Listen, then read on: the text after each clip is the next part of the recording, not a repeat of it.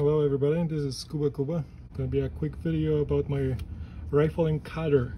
The cutter is kind of tricky because um, stroke back, it needs to retract.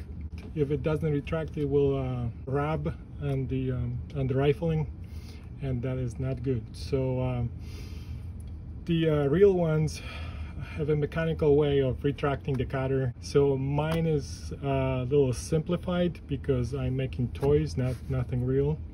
So here's the way it works. I made a little um, a little model because trying to explain how it works, it just doesn't work. So here it is.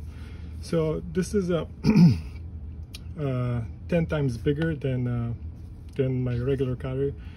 The uh, so this is the basic operation here. This over here, this would be a set screw. And here, this would be a, either ball bearing or a little taper.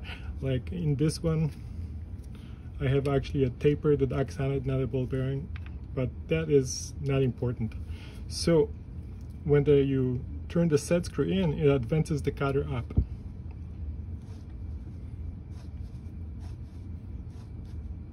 And then, so so it, the cutter gets advanced getting pulled through the barrel and then when on the way back if you can see it hits here and it and it retracts.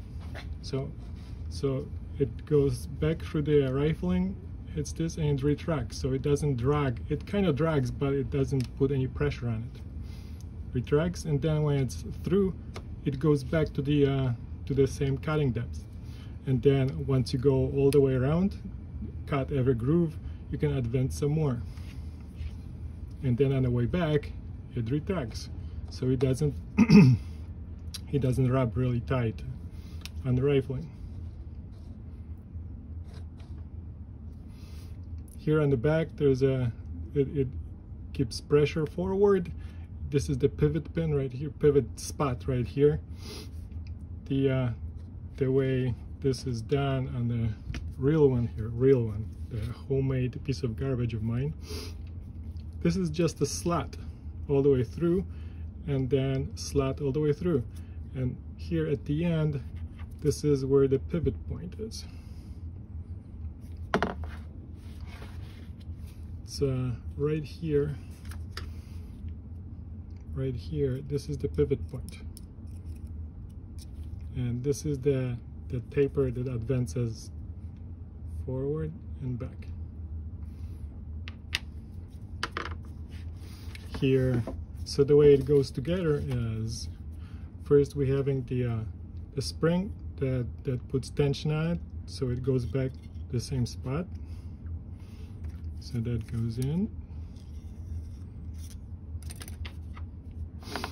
Then this is the part that keeps pressure that the spring it and keeps pressure on here so it, it pushes it back into the same spot. So that goes next. It needs to be uh, going the right way. Yeah. Let's push this back. There we go. That's good. It's loose. Now the cutter goes in. It needs to go into that spot. Right here. There we go. It's in. Now this is what advances the, the cutter itself. There we go.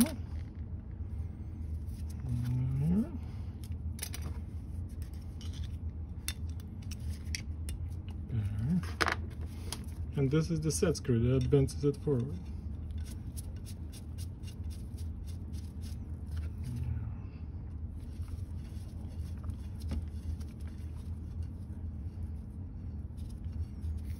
So let's see if we can uh, see here.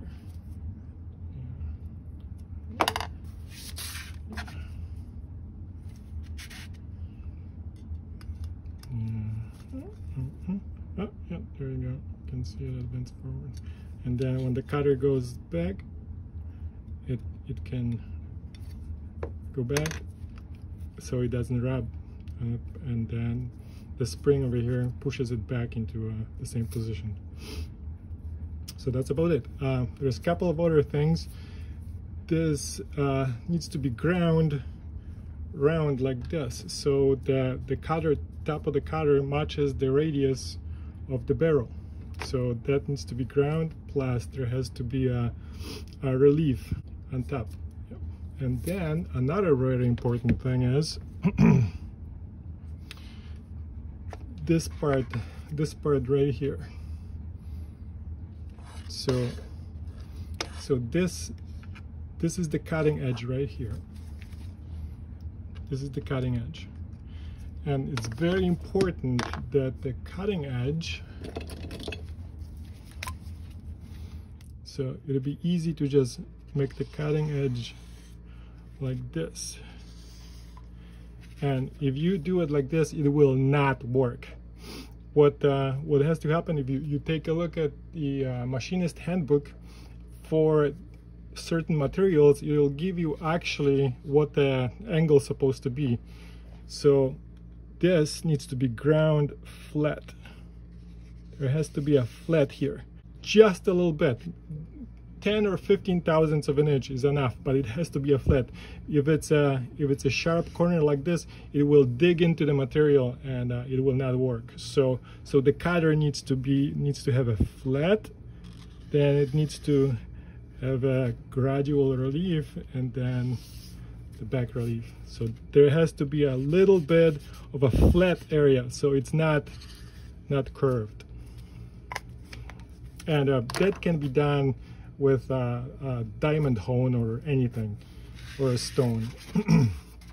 And then I will show you I made a little doodle of my 50 caliber cutter. You guys can take the uh, measurements and go with it or design your own yeah so here it is so this is uh, this is one that I built for uh, 13 millimeter barrels for uh, for my uh, Nerf darts. Yep. It's for yep. There it is. Yep.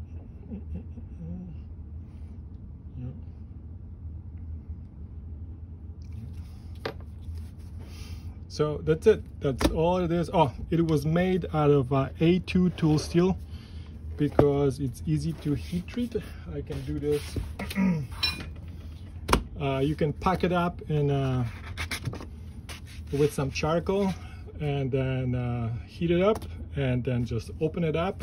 It hardens in the air, then throw it in the oven for like 400 degrees for an hour to temper it and it's good to go. For cutting brass and aluminum and soft stuff, it's, it's plenty good. So uh, this is it. I hope you guys have fun and stay safe and uh, good luck. Thank you.